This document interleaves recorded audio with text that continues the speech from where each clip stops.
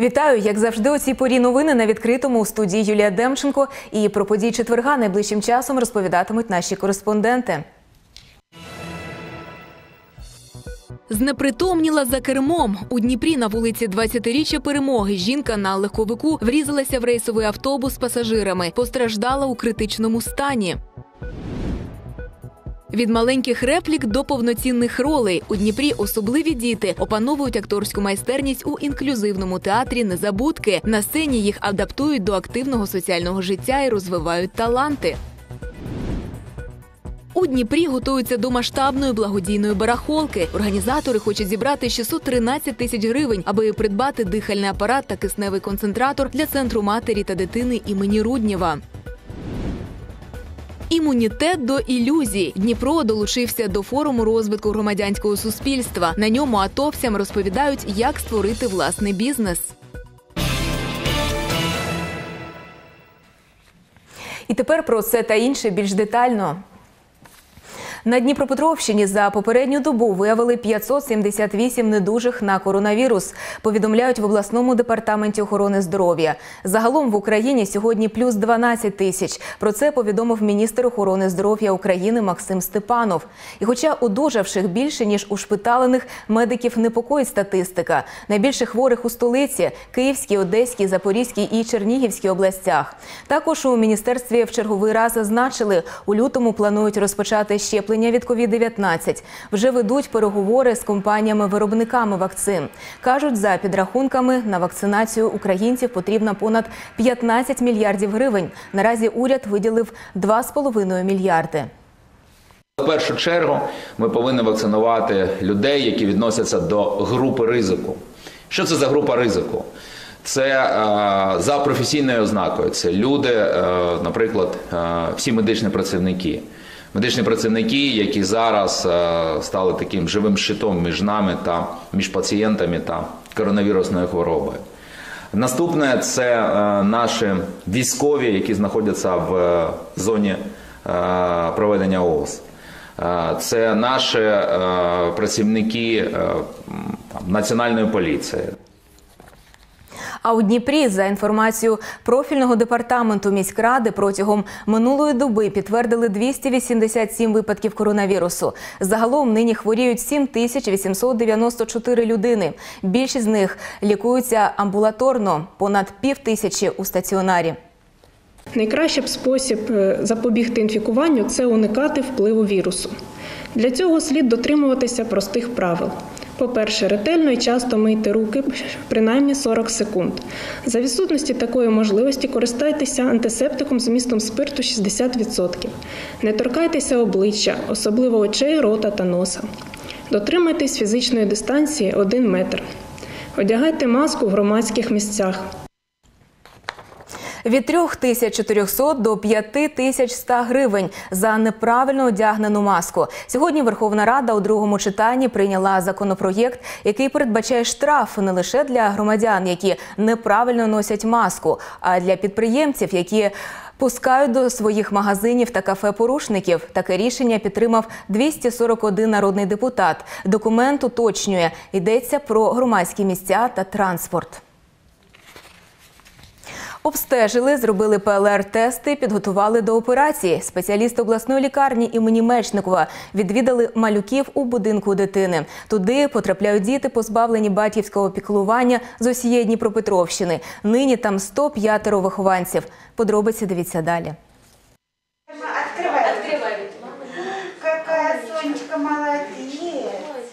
Соні 4 роки. У неї ДЦП та вади центральної нервової системи. Її мати пиячить, тому дівчинка у будинку дитини. Загалом тут 105 малюків. У кожного історії подібні. 15 малюків потрібно ушпиталити. Їм мешниківці провели ПЛР-тести, бо за правилами карантину до лікарні без тесту на коронавірус не беруть. Обстежили вихованців і вузькопрофільні спеціалісти. и неонатологи, и лор-врачи, и врачи-сонологи, которые проведут максимальное обследование. И самый главный врач, который будет готовить детей операции, это челюстно-лицевой хирург, который будет исправлять врожденное уродство. Це Ярослав. Йому три, і мечниківці вже виправили його ваду, так звану заячу губу. Хірург Олексій Комок тішиться результатом своєї роботи. Та попереду каже ще кілька операцій.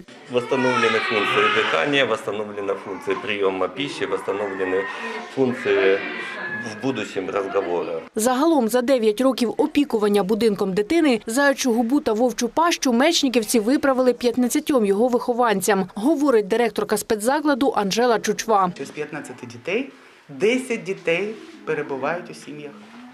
Завдяки тому, що е, ці оперативні втручання проводяться, а це далі є дорога до життя, повноцінного життя, тому що дитина сама годується і дитина розмовляє. Нині у Дніпропетровському будинку дитини мешниківці обстежили 25 малюків. Деяких заберуть до себе на лікування. Галина Гусак, Олександр Вернегоров, Open News, телеканал відкритий. Чотириколісні помічники, 10 ключів від новеньких Рено вручили відділам виконавчої служби південно-східного міжрегіонального управління Мін'юсту. Автівки придбали державним коштом. У такий спосіб держвиконавців привітали з професійним святом, яке в Україні відзначають 17 грудня. Через карантин урочистості скоротили частину управління, що знаходиться у Кіровоградській та Запорізькій областях. Вітали в онлайн форматі. А от у стінах Дніпровського відділу відмінників виконавчої служби нагородили відзнаками.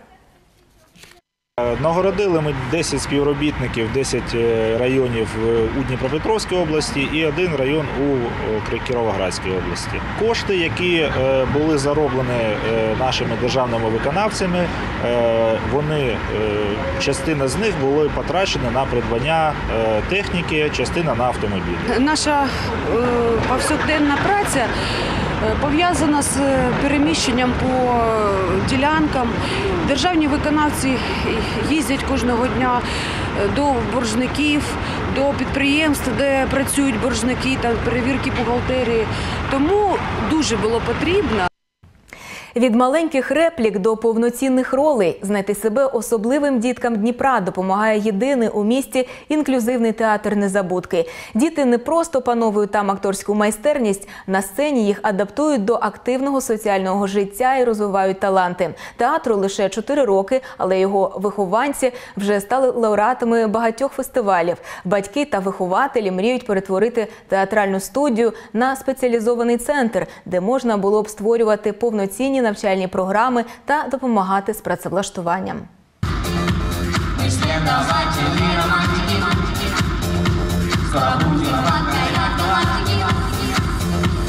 Ніч перед Різдвом четвертий спектакль, у якому грає Ігор. На імпровізованій сцені хлопець тренується двічі на тиждень. Розповідає, незабаром підкорить нову для себе роль гоголівського вакули. Ігор каже, інклюзивний театр став для нього другою родиною, і він мріє, щоб до них долучалися інші особливі діти. Тут я приобрел новых друзей, у меня новые эмоции, у меня новые роли, я освоил очень много ролей, таких, каких у меня в жизни никогда не было. Например, сейчас я кузнец Вакула, в бременской истории я был рассказчиком, в «Чайке» я был мудрочайкой. Кожної репетиції на імпровізованій сцені займаються зо три десятки особливих акторів. Тут вони співають, вдосконалюють мову та працюють над пластикою тіла. І це важливо, бо зазвичай такі хлопці та дівчата ведуть неактивний спосіб життя, кажуть фахівці. А ще вони опановують акторську гру. Вона допомагає їм розвиватися емоційно. Батьки говорять, не впізнають своїх дітей. Вони знайшли в театрі нових друзів, стали більш відкритим у світу, разом відпочивають і святкують дні народження. Театральная студия – это м, частичка его интересной жизни.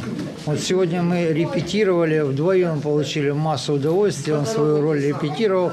У нас кое-что не получалось, там прорабатывали, ну, с- сталкиваемся со своими проблемами. Ну, бы- провели просто вместе, провели прекрасное время на, на своей репетиции. Живе спілкування та соціалізація. В інклюзивному театрі серйозним речам навчають через гру. Тому вихованці намагаються не пропускати жодного заняття. А їхні батьки та вихователі вже думають над тим, як допомогти своїм дітям знайти себе в майбутньому. Зокрема, мріють про хендмейд майстерню. Мы видим опыт других стран, э, ну, других городов, где э, ну, наз- изначально это называется трудотерапия, да, когда люди как бы про- посредством труда ручного они ну, приобретают какие-то навыки, например, шитье для девочек, да, для мальчиков это столярное дело, ну, у многих таких там валяние шерсти, э, лепка из глины, ну, то есть это вещи, которые, в принципе, они развивают моторику, они, ну, как бы развивают усидчивость. Прогрес помітно після кількох занять, кажуть батьки та вихователі особливих дітей. Вони стають більш впевненими і розкутими у творчому середовищі. Здесь мы занимаемся артикуляционной гимнастикой, логопедической гимнастикой, мы развиваем речь, а, мы занимаемся правильной постановкой дыхания, мы поем, э, и это придает им уверенности. И мы прорабатываем в театре то, что хочется проработать в этих детях, да, уверенность в себе приобрести. Вже незабаром інклюзивний театр Незабудки переїде до нового приміщення. А наступного року він планує розширити горизонти. Педагоги вчитимуть дітей хореографії, образотворчому мистецтву та музиці. Альона Вітрова, Данило Мага, Open News, телеканал відкритий. У Дніпрі готуються до масштабної благодійної барахолки. На ній усі охочі зможуть купити якісні брендові речі, одяг, аксесуари та предмети інтер'єру за доступними цінами. Організатори планують зібрати понад 600 тисяч гривень. Гроші необхідні, щоб придбати дихальний апарат та кисневий концентратор для центру матері та дитини імені Руднєва. Тільки цього року там отримали допомогу понад 8 сотень недоношених немовлят та майже 6,5 тисяч дітей з усієї області. Взяти участь у благодійній барахолці можна буде 20 грудня. Вона з 10 до 19 за адресою вулиця Шевченка, 9. Самое главное, это прийти 20 числа на барахолку и купить там себе то, что понравится. Цены действительно сказочные, но сказочные не в плане большие, потому что многие говорят сказочные, это, наверное, баснословные. Нет. Цены очень приятные. По таким ценам вы действительно не сможете нигде ничего себе приобрести перед Новым годом. Благодаря каждому человеку, кто придет к нам на нашу барахолку 20 декабря, мы сможем собрать необходимую сумму.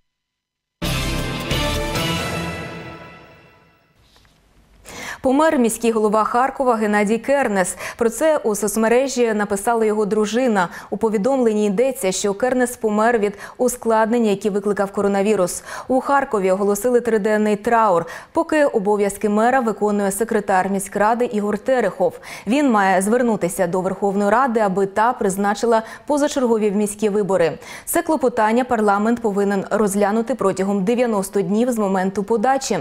Тим часом колеги Геннадія Кернеса висловлюють співчуття родині померлого. Написав пост і очільник Дніпра Борис Філатов. Он любил Харьков, он жил им. Он был сложным, резким, разным, очень крученным. После покушения единственное, что держало его на плаву в этом трагическом мире, это была его работа. Покойся с миром, друг мой. Знепритомніла за кермом. У Дніпрі на вулиці 20-річчя перемоги легковик в'їхав в автобус. Як виявилось, водійці Фольксвагена стало зле. Жінка виїхала на зустрічну смугу, де зіткнулася з автобусом. Обставини автотрощі з'ясовував В'ячеслав Куліш. Нещасний випадок трапився вранці у 8 у Придніпровську. На вулиці 20-річчя перемоги зіткнулися маршрутний автобус і Фольксваген. Причиною аварії стала 42-річна водійка. За словами поліції, жінка за кермом втратила свідомість і виїхала на зустрічну смугу. Як з'ясувалося на місці події, водійка автомобіля Volkswagen Polo е, різко виїхала на зустрічну смугу руху і врізалася у автобус Лоцман, який прямував е, в бік Самарської районної ради. Е, Це пояснили свідки і сам водій. Е, Коли патрульні прибули на місце події, то вони виявили жінку, е, водійку за кермом. Вона була у непритомному стані. Ні водій автобуса, ні пасажири, яких він віз, в аварії не постраждали. Кермувальник каже, все сталося так швидко, що не встиг зреагувати. Вылетела на встречку и все. Плохо стало наверное. А на большой скорости ехал. Ну, около 60, не больше. Вы успели да, затормозить? Да? Да как я успел, если это произошло вот, просто вот, вот, вот, вот так. Тут не успеешь их ничего сделать. Жінку доставили до лікарні імені Мечникова. Наразі вона в реанімації у критичному стані. Медики кажуть, у постраждалої забій головного мозку та чисельні травми. Наразі лікарі борються за її життя. Такие тяжелейшие травмы, они, как правило, проходят потерей сознания тяжелыми последствиями. Предстоит впереди множество операций для того, чтобы только восстановить ее функции, основные жизненные функции. И в настоящее время задача врачей стабилизировать ее состояние для проведения последующих операций. В'ячеслав Куліш, Василь Самовар, Open телеканал відкритий. У Дніпрі судитимуть працівницю Укрпошти. Жінка на посаді начальниці відділу поштового зв'язку поцупила 680 тисяч гривень. Про це повідомляють у прокуратурі області. Справа дійшла до суду. Зловмисниця може потрапити за ґрати на строк від 7 до 12 років з конфіскацією майна та з позбавленням права обіймати певні посади до трьох років. З початку 2020 року Державна виконавча служба області стягнула з боржників майже 900 мільйонів гривень аліментів. Про це розповів начальник південно-східного міжрегіонального управління Мін'юсту у Дніпрі Іван Легостаєв. Каже, аліменти отримали понад 50 тисяч дітей. Через суди доводиться стягувати гроші і за комуналку. Тут суми менші. Протягом року державники стягнули з боржників 51 мільйон гривень. Для цього взаємодіють з правоохоронцями та міською радою. Ефективно працює і система Гарпун. З її допомогою затримують транспорт неплатників та тих, хто перебуває в розшуку. Через карантин виконавча служба області працює в онлайн режимі. Найчастіше, те, що треба нашим громадянам, це довідки різноманітні щодо стану виконавчого провадження, або щодо заборгованості по сплаті аліментних платежів, або щодо е, розміру, е, який стягується. Тобто всі ці довідки можна замовити в онлайн режимі, також їх отримати, не звертаючись особисто до Державної виконавчої служби. У Кривому Розі відбулась перша сесія міської ради. 54 депутати та новообраний очільник міста Костянтин Павлов склали присягу та отримали посвідчення. Крім того, новий міський голова прийняв булаву від свого попередника Юрія Вілкула. Таємним голосуванням депутати обрали нового секретаря міськради. Ним став представник партії Слуга народу Олександр Котляр. Депутати від сили людей відмовились брати участь у голосуванні за кандидатуру секретаря, а також за організаційні питання. Імунітет до ілюзій у Дніпрі відбувся форум розвитку громадянського суспільства. Уперше захід відбувся у форматі всеукраїнського телемарафону, який об'єднав всі регіони країни. Основна тема, яку обрали для обговорення на Дніпровському майданчику можливості для об'єднання атовців, гранти, соціальні проєкти, партнерство. Учасники ознайомилися з історіями створення ветеранських бізнесів, поспілкувалися з підприємцями та дізналися, як розпочати власну справу. Любе спілкування, де в процесі якихось дискусій можна прийти до якихось рішень або почути якісь ідеї, воно звичайно буде корисне. І після таких от форумів, як сьогодні, можливо, у когось знайдеться якісь ідеї розвитку якогось іншого бізнесу, напрямку якогось. В будь-якому випадку, мені здається, це буде корисно е, для тих, хто тут були.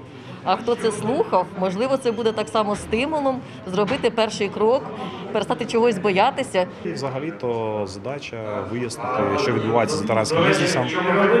Чи може ветеранський бізнес бути якоюсь платформою для об'єднання зусиль громадянського суспільства? Да? Е, Яке соціальне навантаження має ветеранський бізнес? Та що потребує саме ветеранський бізнес, якої підтримки від зі сторони держави або зі сторони громадянського суспільства для того, щоб е, щось надавати у відповідь. Тут просто робочі моменти, щоб усі могли поспілкуватися з, з усіма і задати якісь тренди, да, якісь зміни, якісь пропозиції для того, щоб зрозуміти, що нам треба робити як ветеранам да, в умовах сучасності. У Дніпрі 2020 став роком Олександра Поля. Це визначна фігура в історії нашого міста. Його діяльність змогла перетворити Катеринославщину з економічної пустелі на центр розвитку металургійної промисловості. Цьогоріч у Дніпрі провели серію заходів, присвячених цій постаті. Найвизначніша подія вважають історики знахідка справжньої могили першого почесного громадянина міста. На честь Олександра Поля місцеві автори уклали унікальний альманах та написали дитячі книжки. Персона Поля цьогоріч була настільки популярною, що у Дніпрі випустили понад 900 ексклюзивних марок із його зображенням. Поль, як я вже казав, це людина непересічна. Це людина, яка створила наше місто. І вшанування його це один з базових е, аспектів формування історичної пам'яті містян, формування нашої міської ідентичності. З гальки та гуми у 20-му та 84-му дитсадках Дніпра пішохідні доріжки зробили за новітньою технологією. Таке комбіноване покриття безпечне для дітей та добре поглинає вологу. 850 квадратних метрів обійшлися міському бюджету у мільйон 700 гривень. За даними Дніпровської міськради, це трохи дешевше ніж звичний асфальт. Якщо нове покриття не руйнуватиметься взимку, такі ж доріжки прокладуть і в інших дитсадках. Вот это резиновое покрытие – это аналог э, спортивным э, покрытиям, которое имеет определенную сцепляемость э, с подошвами да, и э, менее э, скользящее даже, чем все остальные покрытия. Дуже подобається дітям. Воно дуже гарно миється, прибирається. І під час дощу ми помітили, що немає взагалі калюш. Тобто воно все впитує і немає ніякої води, і діти можуть безпечно пересуватися Дніпряни масово перетворюються на барист, а зароблені кошти направляють на благодійність. Акція Добрий бариста продовжує набирати обертів. Тільки за один місяць у Дніпрі зібрали понад 40 тисяч гривень на різні благодійні проєкти. Аби стати баристою, треба написати організаторам у Фейсбуці, пройти години навчання від професійних барист, а далі на годину стати до кавомашини. Усю виручку новоспечені баристи віддають на благодійність, допомогу за притулкам, покупку медобладнання для лікарень, ліки для важкохворих. На даний момент вже 42 людини перетворились на баристу, і це ще не кінець, бо черга записана на місяць вперед. І серед барист вже побували астрологи, філологи, журналісти, відомі телеведучі, е, топ-менеджери банків е, е, і навіть записаний один священник, справжній е, діякон. Нескорені Дніпропетровщині здобули 9 медалей на всеукраїнських іграх атовців.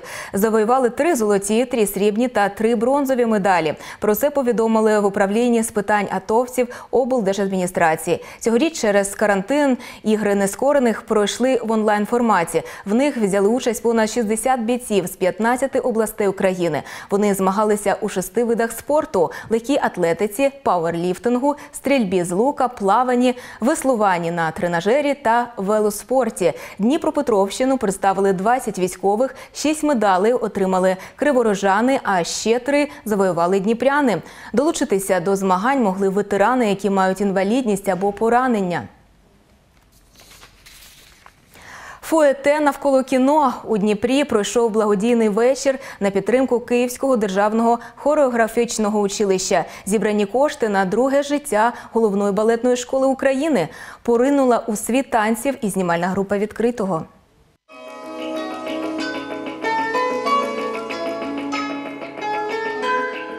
Благодійний вечір у розпалі у залі чимало небайдужих. Всі вони прагнуть долучитися до прекрасного та допомогти Київському державному хореографічному училищу. Це ініціатива прими балерини національної опери Катерини Кухар. Е, Ми вважаємо, що е, в даний час кожен е, повинен відгукатися, не будь не бути осторонь і допомагати тим, чим хто хто чим може. Ми кінотеатр, ми можемо зібрати людей, показати чудовий фільм. Отак ми вирішили підтримати головну нашу балетну школу.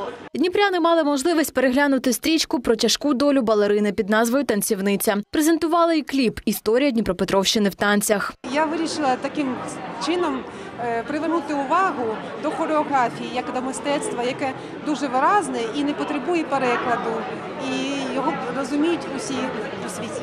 Це п'ять мініатюр, які е, за допомогою різних видів е, танцю я як балетмейстер придумала. Це і народно-сценічний танець, і класичний балет, і сучасний танець. Київське державне хореографічне училище потерпає від недофінансування, а значить, його не можуть капітально відремонтувати. Серед тих, хто вболіває за долю закладу, і його випускниця Олена Бадалова. Я э, очень тепло вспоминаю годы, э, проведенные в училище, и поэтому, когда я узнала, что будет благотворительный вечер э, для сбора средств